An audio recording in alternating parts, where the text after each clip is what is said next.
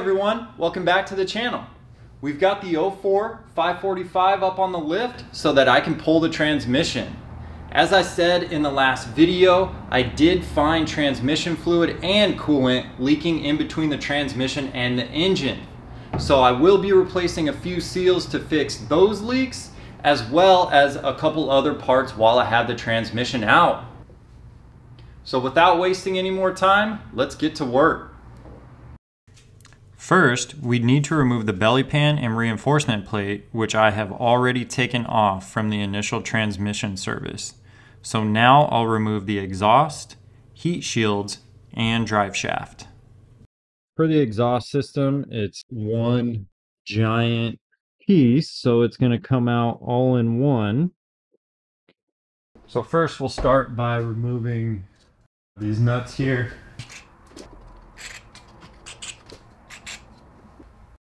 So these are 12s.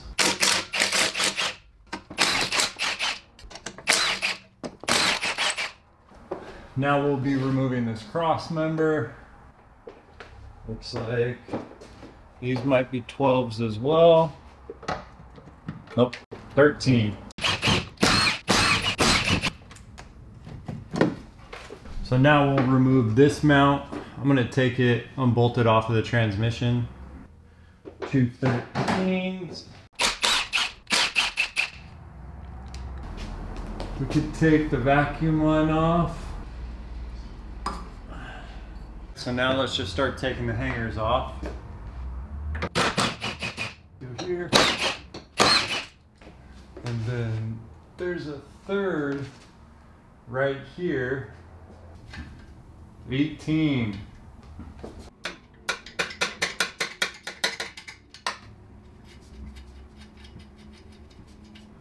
All right, so the whole exhaust has to go back to clear the bolts.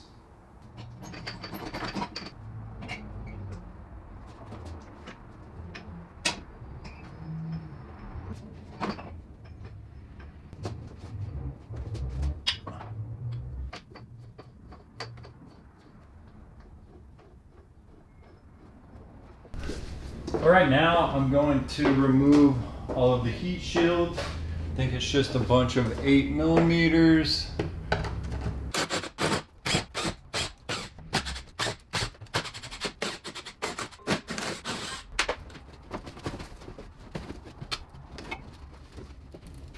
Hey, I found a tool.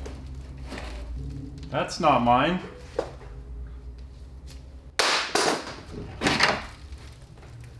Pittsburgh only.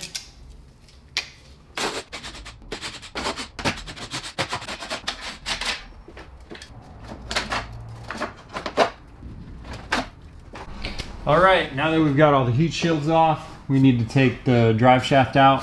I'm gonna start by removing these three bolts here. They're 16s with probably a 16 backer. I'm going to disconnect the shifter cable so I can shift the transmission into neutral and spin the drive shaft. It's just one 13 millimeter.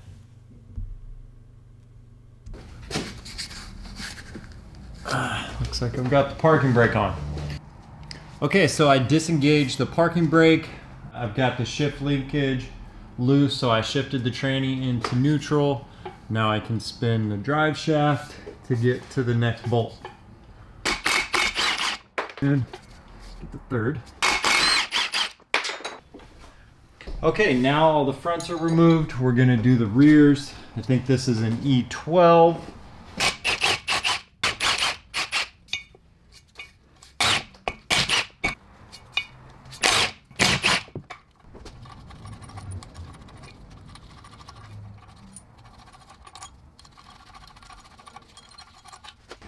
All right, so now we need to pry the drive shaft out of the back of the diff. So there's a couple of slots, one's here. There we go. And this already has a paint mark on it, so it'll line back up and still be balanced. All right. Let's get these 13s off.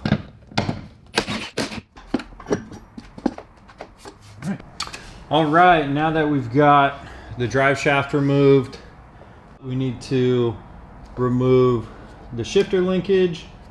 The O2 sensors are routed and clipped to the side of the transmission, so we'll have to remove some of the connectors, possibly the O2 sensors all the way. A couple of these connectors will have to be removed. The engine speed sensor is here, that'll need to be removed. And then the tranny cooler lines are up here on the right. So first let's take the shifter cable off, which I think it's 210 millimeters.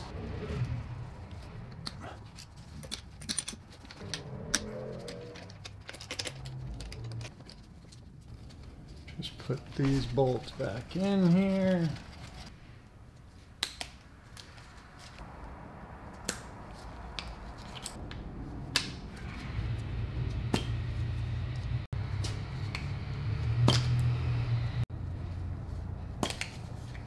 Yeah, these O2 sensors are just clipped to the side of the tranny. But they clip onto the side. And then we'll disconnect the main connector going to the mechatronics unit. Right here, you just have to spin that collar counterclockwise and it'll start to loosen that connector and then pull it out.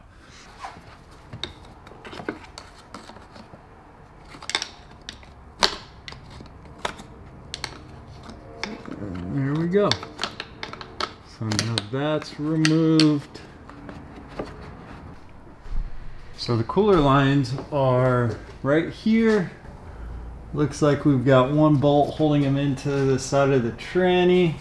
Looks to be a 13.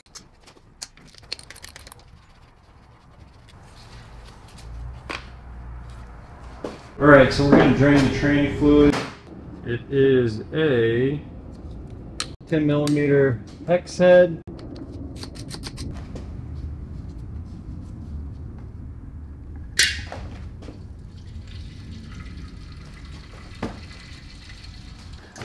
That's good enough. Okay, we're just going to continue to remove some of this wiring. It's the oil level sensor.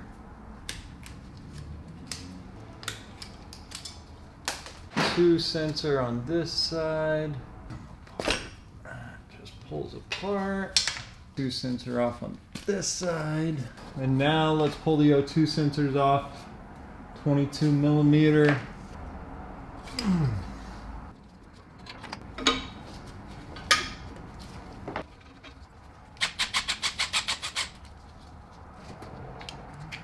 Soaked in tranny fluid.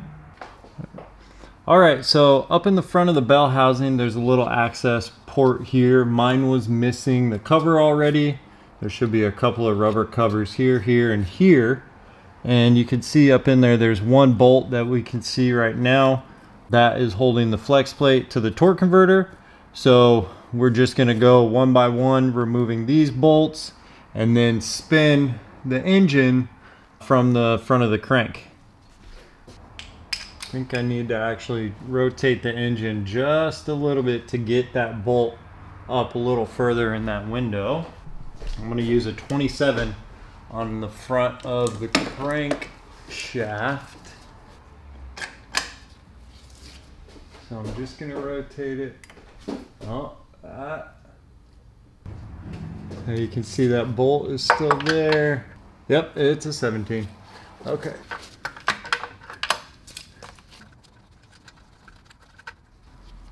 There's one. I'm still just using the crank bolt to rotate the engine. There's the next one. Yeah, once you break them loose, they just come right out. All right, I'm gonna do the rest.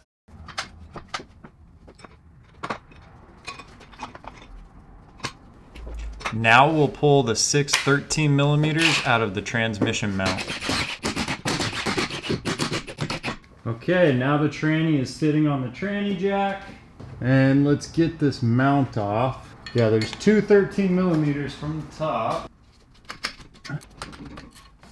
Here's the tranny mount. You can see there's two rubber mounts. This one is pretty solid when you try and move it. This one is just super loose. And I don't think it's just loose. I think it's probably ripped. So we'll be replacing that. Next, we're going to lower the tranny just a little bit so we can see all of the bolts around the top side. You can see the bolts here are now visible. There are about 10 E12s and two E10s up on the top.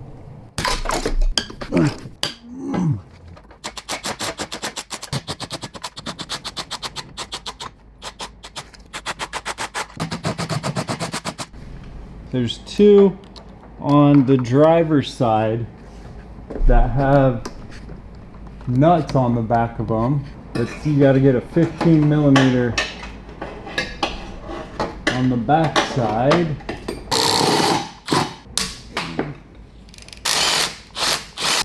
And there's a plate back there.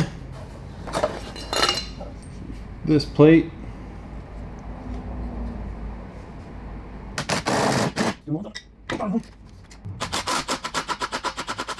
All right, so I've got all the tranny bolts except for these two on the bottom already removed.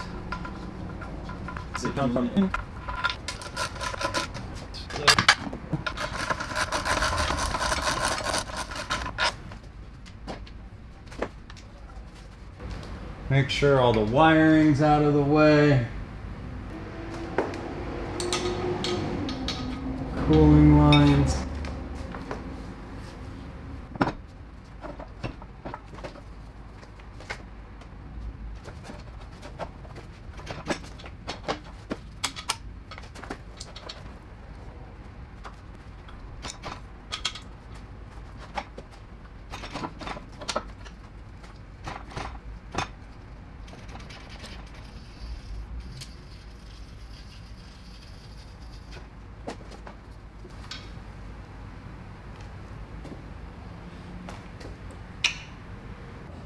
Alright everyone, that's going to do it for today's video. We've got the transmission completely removed and are ready to replace those leaking seals. I did decide to break this job up into a few smaller videos as it started feeling a little bit lengthy. So thank you all for watching and if you haven't already please make sure to hit that like, subscribe and notification button so you can stay updated on this E60 rebuild and I'll see you all very soon in the next video.